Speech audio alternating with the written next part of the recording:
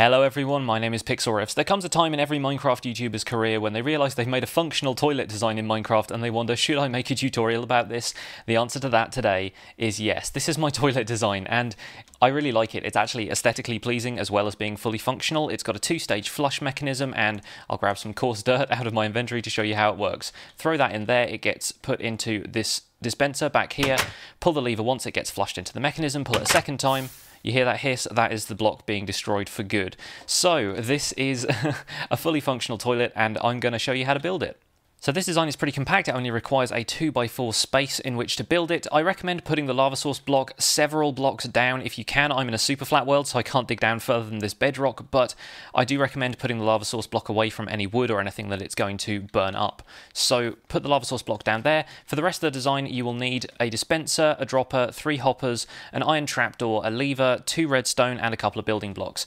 You want to start off by placing a dropper over here facing into the lava block like that. You don't want that to be a dispenser because in case you flush a bucket of water down there, the dispenser is going to dispense the water out onto the lava and turn it into obsidian. So that is not what you want. Come back up here, place a hopper facing into the dropper, put another hopper on top of that, and then a dispenser on top of that there. Then you can just fill in this wall with whatever wall block you're using put a lever on it here, put an iron trapdoor next to that, and put your final hopper facing into this dispenser. The dispenser isn't technically required, you could use a dropper or anything else that can transport items, but I like the way it looks because the U-bend of the hopper connects with the dispenser pretty well, so that works. You can open it up like that, and then the last thing you want to do is put an iron block there, an iron block there, or whatever building blocks you're using, and then place redstone dust on it like that. You'll see that will activate the dropper there, and that will fire the items into the lava.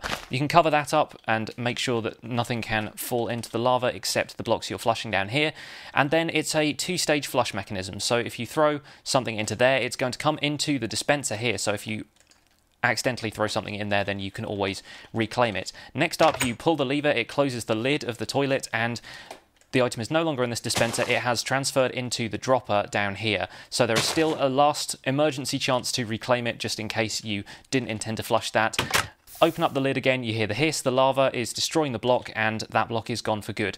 Now you can leave the toilet seat up or down depending on, you know, whether you want to be respectful to the ladies and the whole thing works pretty well, I think. So that's all for today. Thank you very much for watching this tutorial. My name has been Pixlriffs. Please leave a like on this video if you enjoyed it, subscribe to my channel if you want to see more tutorials in future, and I will see you guys soon. Bye for now.